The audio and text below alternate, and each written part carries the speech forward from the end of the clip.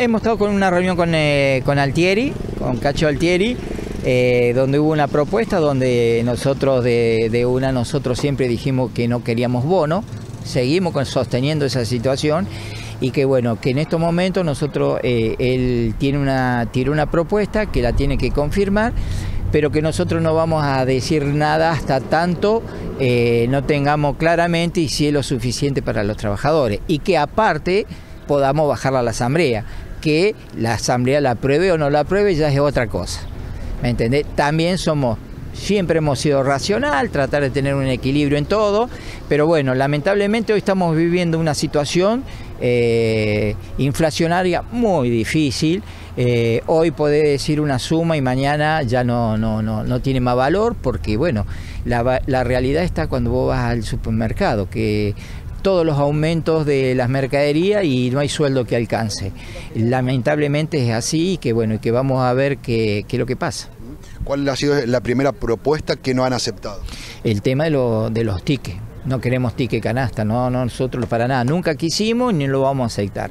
De todo modo, este, lo vamos a informar a los compañeros y que queremos una propuesta donde, eh, te vuelvo a repetir, sea sea medianamente razonable para poder plantearla en, el, en, el, en la asamblea. Se había, había trascendido, bueno, en, en, las últimas horas que habían propuesto bueno, un aumento del 5% más este bono. Eh, Sí. ¿Eso es lo que no han aceptado? Sí, sí, sí, sí, eso es lo que no hemos aceptado. No, no, no, podemos aceptar un 5% y menos, por más que el, en bono sea el 20%, el bono hoy vos lo gastás y no te queda más, tenés un solo aumento de un 5%.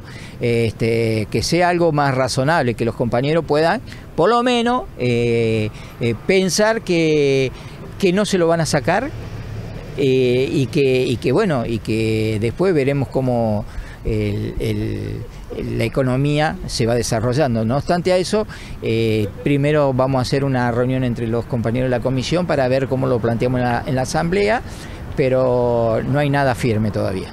Eh, ¿Cuál es la propuesta desde el, desde el, gremio? Más allá de escuchar la del Ejecutivo. No, la del gremio nosotros venimos siempre peleando los porcentajes, para que los porcentajes queden reflejados en... Eh, en su categoría, en su hora extra, en su aguinaldo.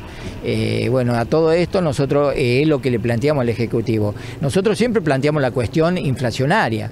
De hecho, bueno, nosotros ahora estamos en el 72%, creo, eh, creo porque te digo, eh, no me acuerdo de qué mes, nosotros en seis meses tuvimos, seis meses. en los últimos seis meses, pero bueno, hoy con la inflación se nos disparó mucho, entonces bueno, sabemos que hay una, una instancia de transición, y que bueno, que tampoco queremos aceptar cosas que supuestamente estarían habladas o eh, dentro de la transición, ¿me entendés?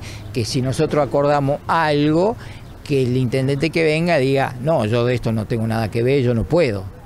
¿Me entendés? Entonces, bueno, pedimos garantía, porque por más que tengamos buena voluntad, lo que no queremos que mañana eh, el que se fue, ya nos, nosotros no, no, lo podemos ir a buscar a su casa para reclamarle que vos no prometiste esto o no dijiste esto, y el intendente que está hoy a cargo diga, no, yo de esto no me hago responsable. Un poco pasa por ahí el tema.